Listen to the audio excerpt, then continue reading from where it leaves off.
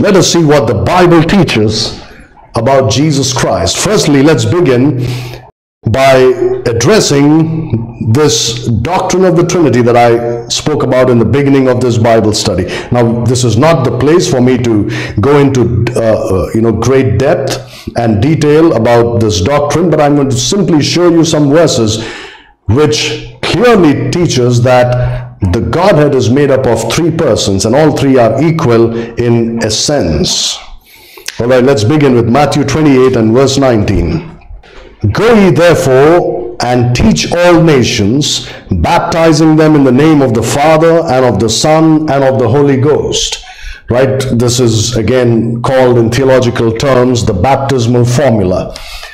You don't have to call it that if it feels very odd to call it that, but you see this. He says, the Father, Son, and the Holy Ghost. Why does he place all three of them on the same plane? Why is it that, you know, he doesn't say,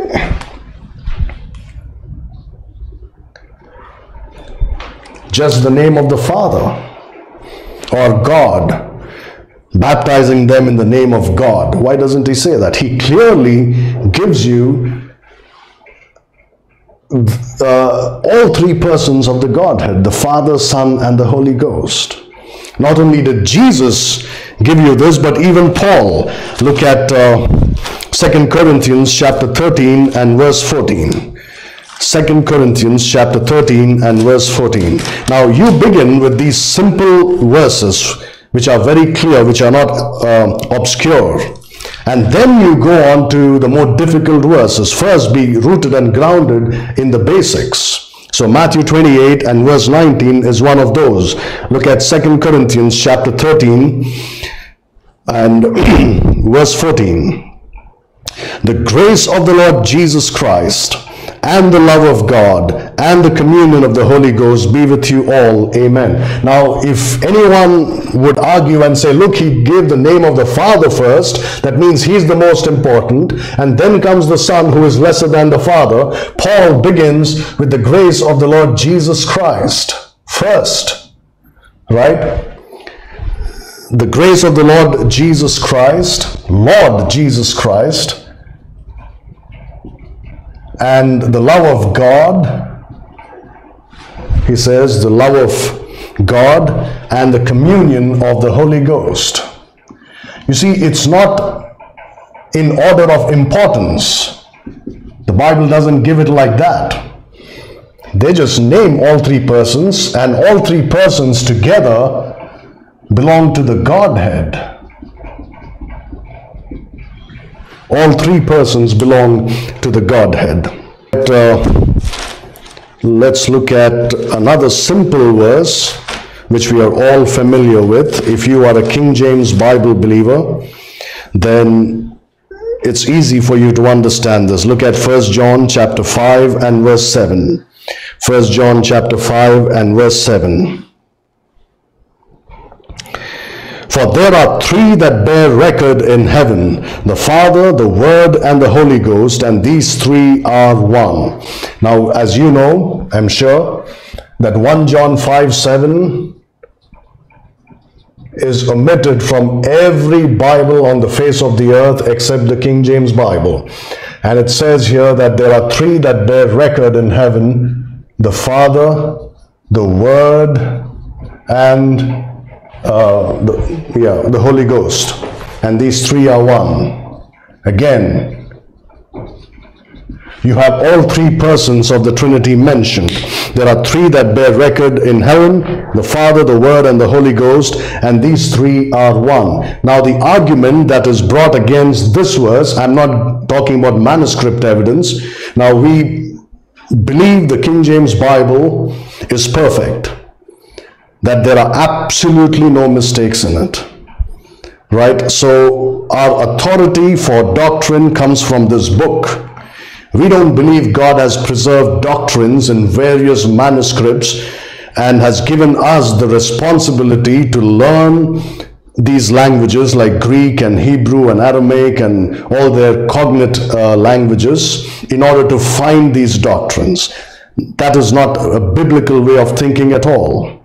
God, who inspired the scriptures, preserved them perfectly without error, and in these last days has given them to us in the universal language of the world, which is English. The universal language of the last days is English, and the King James Bible comes from Antioch the base for missionary activities for all the apostles. You'll read about it in the book of Acts. That's where Paul uh, started his ministry from, from Antioch of Syria, not Antioch of uh, Pisidia, which is somewhere in uh, Asia Minor, but Antioch of Syria. That was the base for the apostles after God moved from Jerusalem and started going to the Gentiles. So these manuscripts, which are the basis for the King James Bible, come from Antioch, whereas the the manuscripts that come uh, uh, that the that form the basis for all the modern English versions and many other language Bibles come from Alexandria, Egypt, where they were corrupted by Origen, right? And if you study the beliefs of Origen, you'll be shocked it's very difficult to believe that that man was saved if he had believed those doctrines before he got saved. Right? Even about Jesus Christ.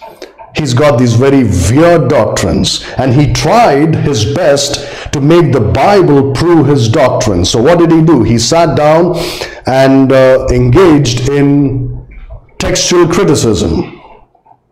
Right? He's called the father of textual criticism. And uh, he in, in simple words, he corrupted the scriptures. And those corrupted scriptures became the basis for the Bible of the Roman Catholic Church and for all the Bibles uh, in the Protestant church today uh, in the English language, starting with uh, the revised version of 1885. Then it went to America in 1901. You have the American Standard Version.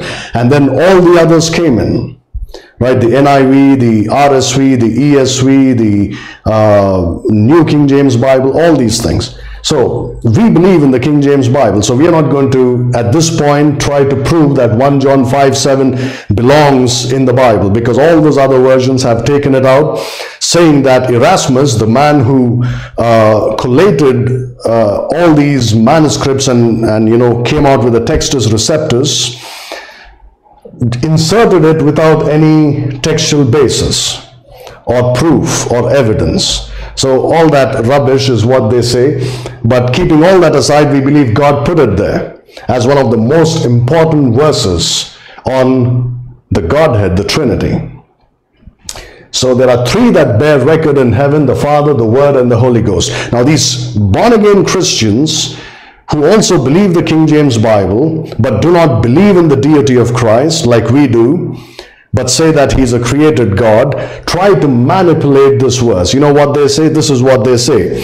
In verse 8 it says, And there are three that bear witness in earth, the spirit and the water and the blood, and these three agree in one. You see that? There's a difference between verse 7 and verse 8, not only in the persons mentioned, right? But also uh, in, in, in this, that in verse 7 it says, These three are one. In verse 8 it says, These three agree in one. So their argument is 1 John 5 7 also means these three agree in one. It is a unity in agreement, not unity in essence. That means they are not one in the sense that they are all equal. They are one when it comes to agreeing about something. Their opinion is the same.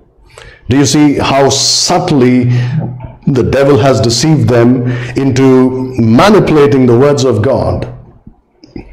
It doesn't say that these three agree in one. It says these three are one. But in the next verse, when it talks about the witness, right, that these three bear on earth. Because you see, witness that three people are bearing either agrees with each other or, or, or it doesn't. Correct? So, There are three that bear witness in earth the spirit, the water, and the blood, and these three agree in one. Their witness is the same, their opinion is the same. But when it comes to the Father, the Word, and the Holy Ghost, it's not about a witness. There are three that bear record in heaven the Father, the Word, and the Holy Ghost. And these three are one, one in essence. That's what it means. And it agrees with these other verses that they're all one, they are equal. That's why, you know, they are spoken of in the same breath the Father, Son, and the Holy Ghost. Jesus Christ, the Lord Jesus Christ, God, and the Holy Ghost. The Father, the Word, and the Holy Ghost. Right? So that's the most simple teaching on the Trinity in the Bible, which also uh, tells you that Jesus Christ is none other than God. So that proves the deity of Christ. This is what the Bible teaches about the equality, equality of the three persons of the Godhead. The equality of the three persons of the Godhead. The Bible teaches that.